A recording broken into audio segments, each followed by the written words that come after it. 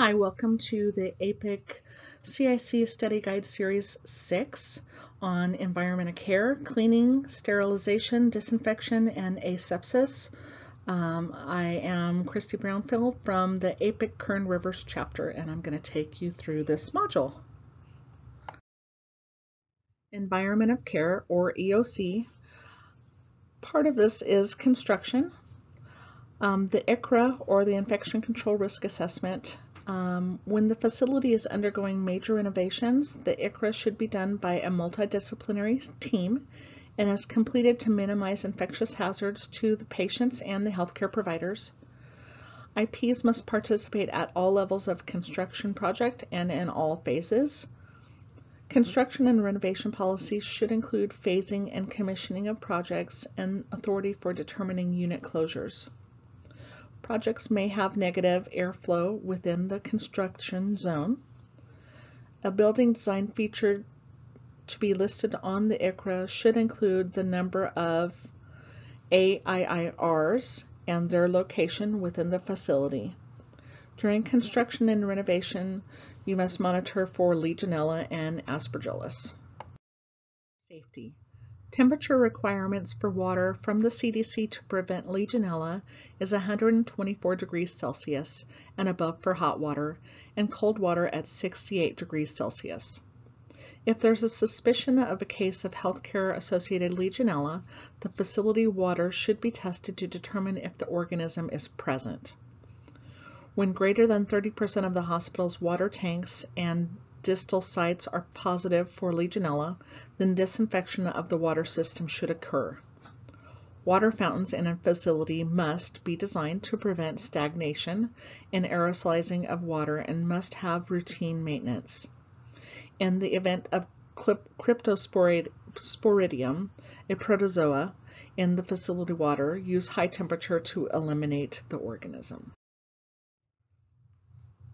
AIRR requirements, or Airborne Infection Isolation Room requirements, are that you must have a visible way to monitor pressure if it's a newly constructed room, must have air exhausted to the outside if it is a permanent dedicated negative airflow room, you must have 12 air exchanges per hour, the use of dual purpose rooms that can alternate between negative and positive pressure should be avoided as their use is not supported by, by the FGI or Facility Guideline Institute recommendations. May be used for bronchoscopy in a patient with suspected or confirmed TB. Sink should be deep, deep enough in the patient care areas to prevent splashing of nearby items. Aerators should not be used as they increase the risk of healthcare associated infections. Inpatient units that house hematopoietic stem cell transplant patients should prohibit live plants and dried flowers and avoid items that collect or trap dust. The heating, ventilation, and air conditioning system or HVAC system. A shutdown in the HVAC system must be coordinated with the IP and may include moving immune compromised patients and those in airborne precautions, Appropriate air exchange rates must be maintained before rooms are to be put into use. Air filtration by diffusion filtration is the effective method. Monitor the following for a HVAC system malfunction. An increase in the number of SSIs, aspergillus in any patient, an increase in varicella infections, and not an increase in device-associated infections. Air requirements in an OR. MERV or minimum efficiency reporting values, which are air filtration requirements based on the size of the particle the filter can remove. The minimum standard for an OR is 90%, which is a MERV of 14. Laminar airflow is not appropriate as it may cause hypothermia for the patient. What is needed is non-inductional unidirectional infusion airflow. Airflow must go from an area that is clean to an area that is less clean. Thus, in an OR, air must go from the ceiling near the center of the room and the air exhaust should be near the floor of the periphery of the room. Cleaning. Selections of disinfectants or cleaning products should include ease of use, efficacy, acceptability, safety, and cost. Physical removal, removal of debris must occur before disinfection can occur. Evaluation of cleaning. To evaluate the efficacy of cleaning, the use of RODAC plates is the most reliable method. Routine environmental culturing should not be performed except during an epidemiological investigation. The FDA approves antiseptics along with medications. Bleach dilu dilution to clean up blood on a non-porous surface is a 1 to 100 ratio and is the best choice for cleaning blood and bodily fluids. Diluted bleach may be stored in an open container for up to 24 hours. All cleaning solutions must be labeled with the chemical content, name, and expiration date. The practice of topping off cleaning products from a larger bottle is prohibited as this practice may lead to cross-contamination. In controlling a C. diff infection during an outbreak, the first step is to make sure the EVS staff are using bleach during terminal cleaning. Environmentally friendly cleaning approaches include the use of detergent on floors in the patient room, provided the patient is not on special precautions. Hydrogen peroxide vapor provides effective disinfection of all surfaces and supplies in the room. However, the room must be clean prior to use and the room must be unoccupied. When selecting a cleaning agent for use on patient care equipment, it is most important to choose a product based on the manufacturer's guidelines for cleaning. May be, may be contaminated with Pseudomonas. Cleaning linens. Hot water temperature for linen should be set at 160 degrees Fahrenheit. Clean and dirty linens can only be transported together if there is clear separation from each other. EVS staff must be trained on when to wear PPE, the limitations of each type of PPE, and maintenance of PPE. Between cases, cleaning of the OR floor is to include a 3 to 4 foot parameter around the table unless a wider area of contamination is noted. Cleaning the patient environment. Use of a secret shopper may be useful in data collection to determine the cleaning practices of high-touch surface areas. The practice most likely to result in improved infection prevention is the cleaning and disinfection of all surfaces in a room that have potentially come into contact with hands, including but not limited to high-touch surfaces. Cleaning should be done from an area that is clean to an area that is dirty, such as a top to bottom or from the perimeter of the room to the patient zone. During an outbreak, high-touch surfaces may need to be cleaned three times per day. Prevention of spore aerosolization can occur by using a chemically treated cloth or a microfiber cloth. Standard mop heads should be laundered daily. SPD or the Sterile Processing Department.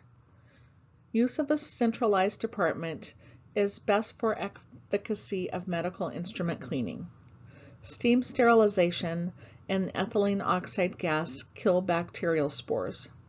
Flash sterilization is also known as immediate use steam sterilization, or IUSS.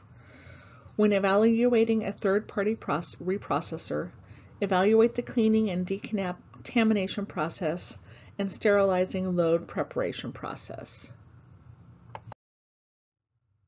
When soaking instruments, temperature of the solutions and the time the instruments soaked must be documented.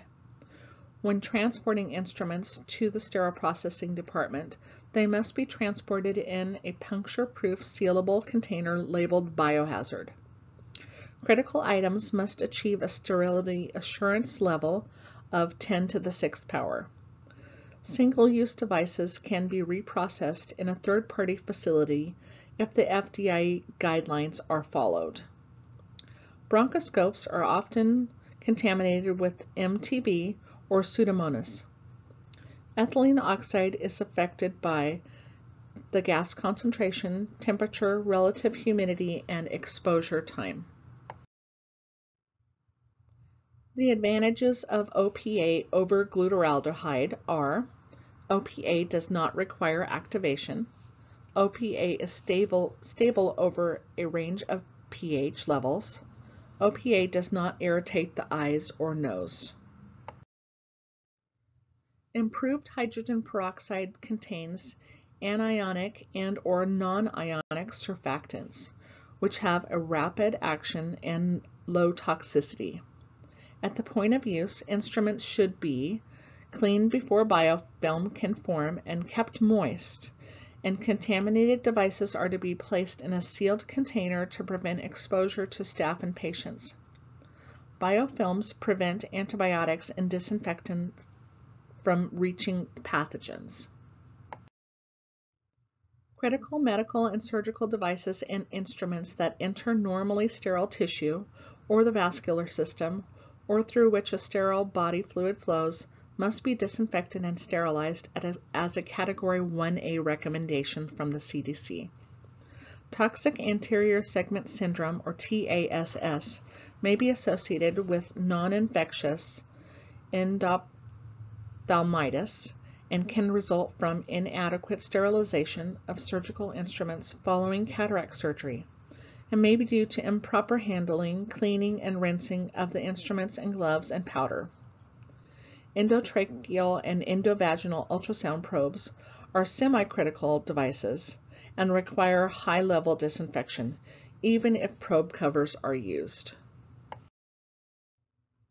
Liquid sterilization includes the use of glutaraldehyde, hydrogen peroxide, or peracetic acid to sterilize items that are critical and heat sensitive. Items cannot be wrapped, so sterility is not maintained in the rinsing, drying, and storage phases. Thus, it is used only on items that cannot otherwise be sterilized. Ultrasonic cleaning is used to achieve fine cleaning of instruments by the use of sound waves to create bubbles that disrupt small particles that may exist in hard to clean places on instruments. It may be used as an intermediate step between initial cleaning and high-level disinfection. It does not sterilize. Cleaning medical devices before sterilization must be done to reduce the bioburden. Use of a biological indicator in an autoclave load is done to determine if the load has been properly sterilized, which is confirmed by a negative result.